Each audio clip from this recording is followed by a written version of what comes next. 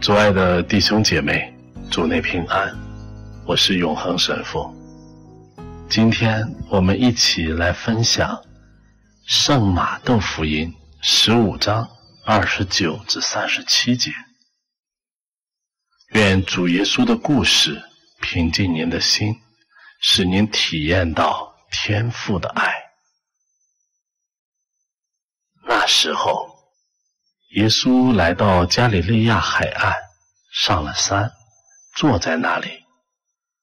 有许多群众带着瘸子、残废、瞎子、哑巴和许多其他的病人来到耶稣跟前，把他们放在他的足前，他便治好了他们。致使群众见到。哑巴说话，残废康复，瘸子行走，瞎子看见，都大为惊奇，颂扬以色列的天主。耶稣将自己的门徒招来说：“我很怜悯这群众，因为他们同我在一起已经三天，也没有什么可吃的。我不愿遣散他们。”空着肚子回去，怕他们在路上晕倒。门徒对他说：“在荒野里，我们从哪里得这么多的饼，使这么多的群众吃饱呢？”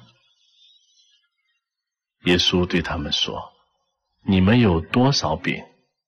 他们说：“七个，还有几条鱼。”耶稣就吩咐群众坐在地上，拿起那七个饼和鱼来，注谢了，掰开，递给门徒。门徒再分给群众，群众都吃了，也都吃饱了，把剩下的碎块收集了满满七篮子。基督的福音。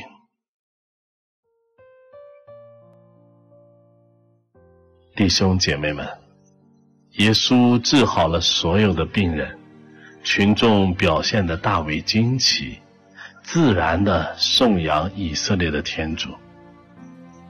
群众见证了天主的大能，借着耶稣的一言一行，就得到了治愈，所以他们愿意跟随耶稣，聆听他的教导。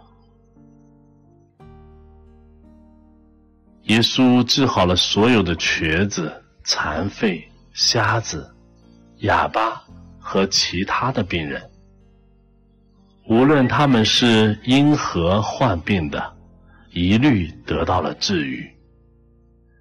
这样的真实见证，使我们相信主耶稣爱每一个人，帮助每一个有需要的人获得自由。不仅是身体上恢复健康，得到行动上的自由，更通过教导真理，使所有人的心灵得到真正的自由。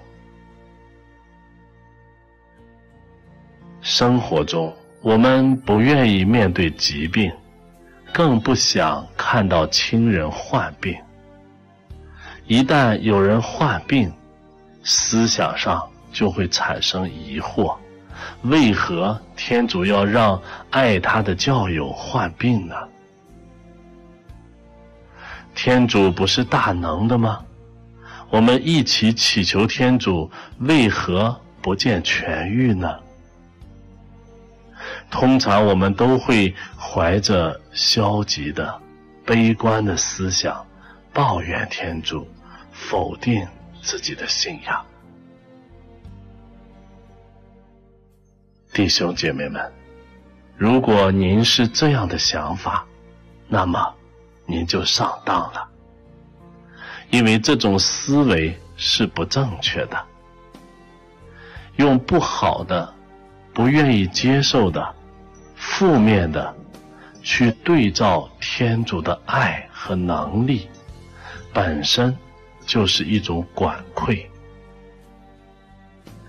如果我们好，才说明天主好；我们不好，就说明天主不好。那么，我们的天主就是我们自己，而不是真正的天主。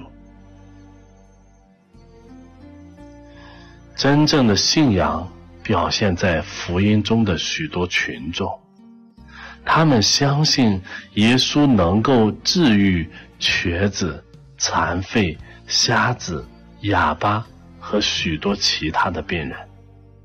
他们把这些病人放在耶稣的足前。这些群众是心中有爱的人。他们没有只顾自己去追随耶稣，他们也没有排斥这些病人，反而愿意帮助他们，把病人的需要带到耶稣跟前，一起来体验主的爱和大能。弟兄姐妹们。耶稣战胜了疾病，甚至死亡。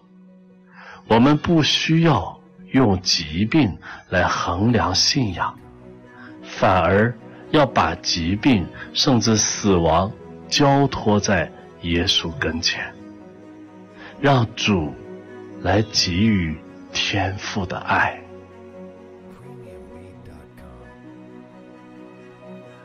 愿天主祝福我们。阿门。